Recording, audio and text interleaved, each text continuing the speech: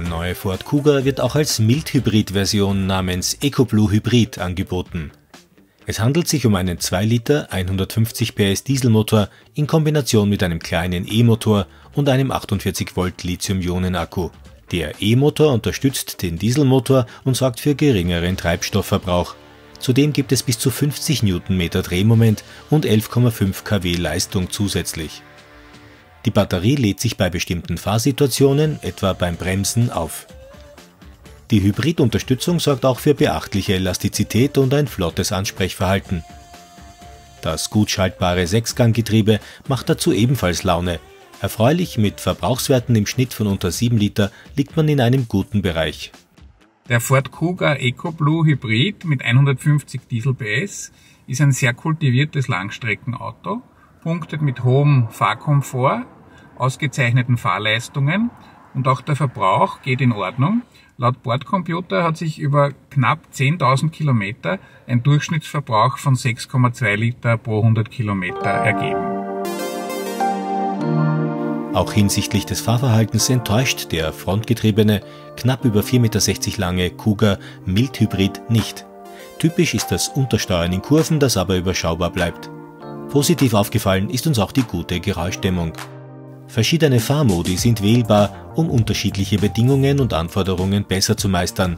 Je nach Modus wechselt auch die Farbe im digitalen Instrumentendisplay.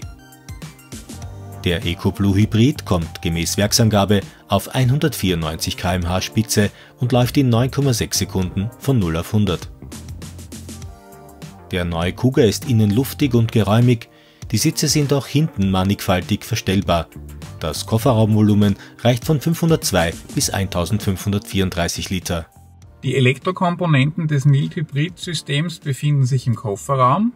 Im Fahrbetrieb merkt man eigentlich nichts davon. Das Zusammenspiel zwischen Dieselmotor und den Elektrokomponenten funktioniert sehr geschmeidig.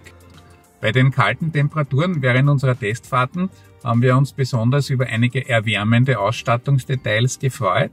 So gibt es zum Beispiel ein beheizbares Lenkrad, eine beheizbare Frontscheibe, beheizte Sitze für die erste Reihe und sogar für die beiden äußeren Plätze in der zweiten Reihe gibt es auch eine Sitzheizung. Den EcoBlue Hybrid gibt es ab Ausstattung Cool and Connect. Eine lange Extrasliste ist verfügbar, so etwa auch ein umfangreiches Fahrerassistenzsystem-Paket, das auch im Topmodell extra kostet. Der Ford EcoBlue Hybrid startet preislich bei 34.600 Euro.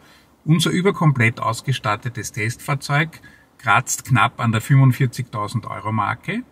Einziges Manko dieser tollen äh, Motorenvariante ist, dass sie ausschließlich mit dem manuellen Sechsgang-Schaltgetriebe verfügbar ist.